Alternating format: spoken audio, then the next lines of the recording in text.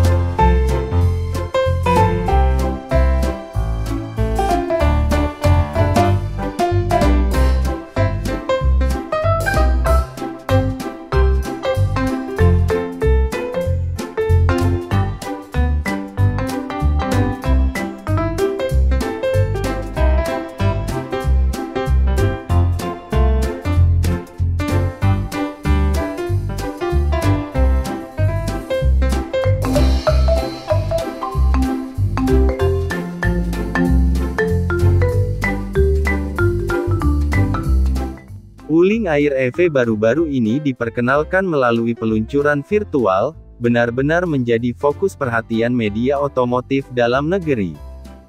Juni lalu, Wuling resmi memperkenalkan kendaraan listrik berbasis GSEV ini ke publik di Jakarta, setelah itu Wuling menggelar roadshow di beberapa daerah. Sayangnya, kami dan pengunjung tidak diperbolehkan melihat interiornya.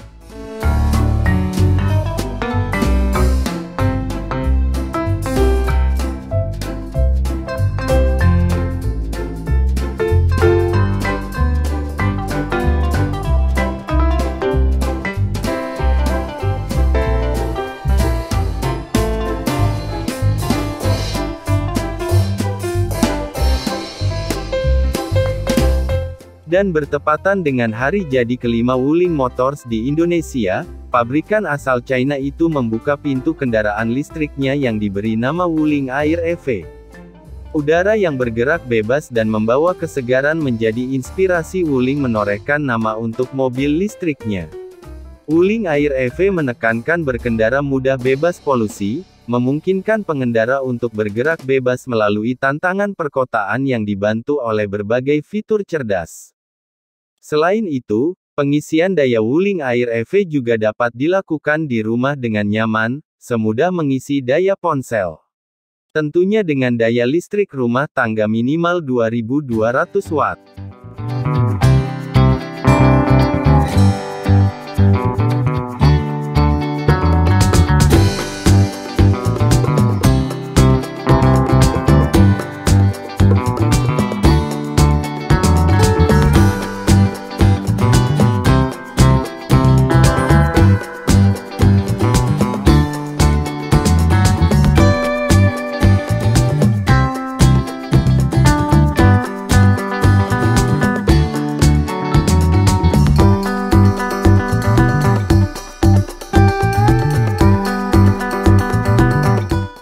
Meski tampil imut, Wuling Air EV ditopang rangka kokoh dan dibalut desain eksterior futuristik yang memadukan unsur teknologi dan nuansa futuristik. Wuling juga memastikan keamanan baterai kendaraan listrik ini terjamin. Wuling mengaku telah melakukan 16 kali percobaan untuk melihat kekuatan dan ketahanan baterai yang digunakan. Pengujian dimulai dengan mencelupkan baterai ke dalam air, membakarnya selama beberapa waktu, menjatuhkannya dari ketinggian 1 meter, dan beberapa pengujian lainnya.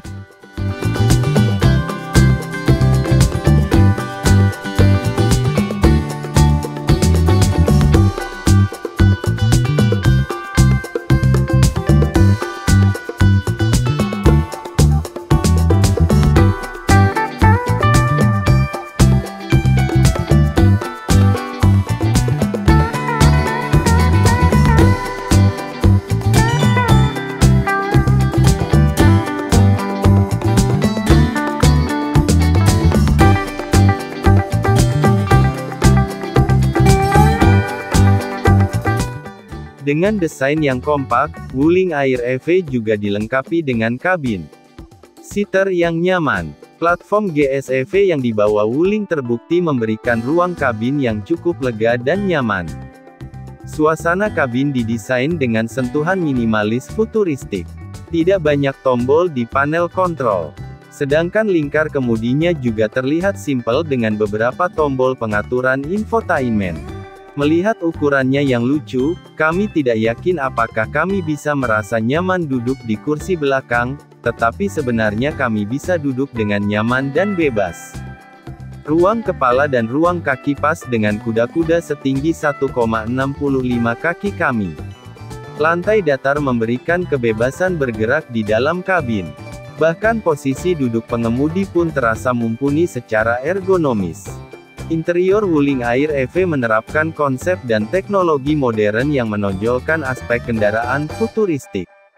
Ini dibantu oleh penggunaan panel kontrol smart technology di bagian depan, yang menggabungkan panel dan tombol futuristik serta layar antarmuka yang besar.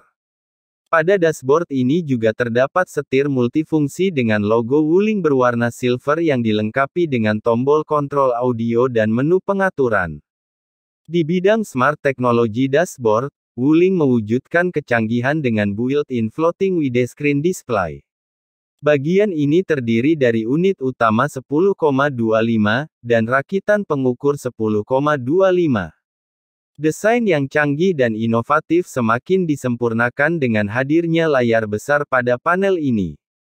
Tidak hanya itu, sistem hiburan di atas juga dilengkapi dengan koneksi internet sehingga pengguna dapat mengakses berbagai hiburan. Membuat perjalanan lebih menyenangkan. Selanjutnya, kabin Wuling Air EV menonjol karena kenyamanannya dengan desain panel minimalis di door trim dan konfigurasi.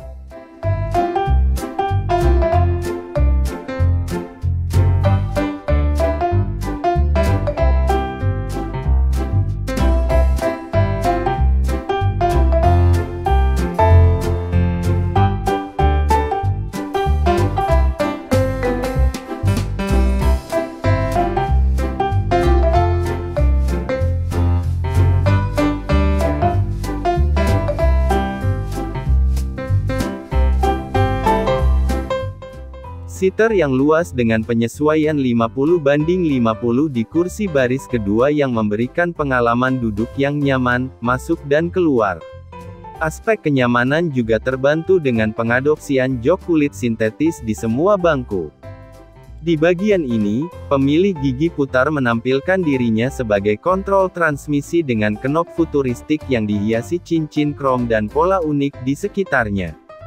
Selain itu, konsol tengah mobil ini juga dilengkapi tombol untuk mengontrol power window, rem parkir elektrik, dan parkir otomatis.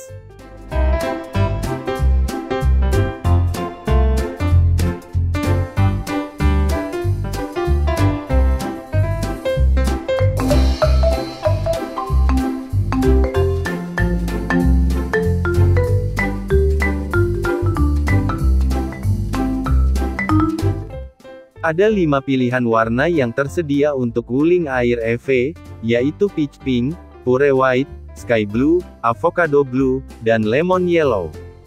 Mengenai harga jual Wuling Air EV, model elektrik ini ditawarkan untuk dijual dengan perkiraan harga sekitar 250 juta rupiah versi standar dan 300 juta rupiah versi lama. Estimasi harga hanya untuk wilayah Jakarta.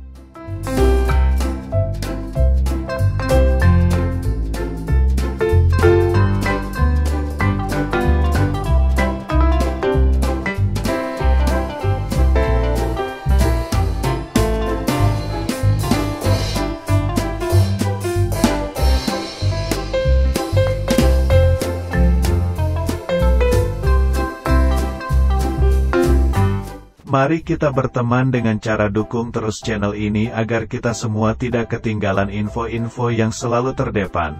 Dengan cara subscribe, share, like. Jangan lupa nyalakan loncengnya sob. Salam Kar 2 Channel.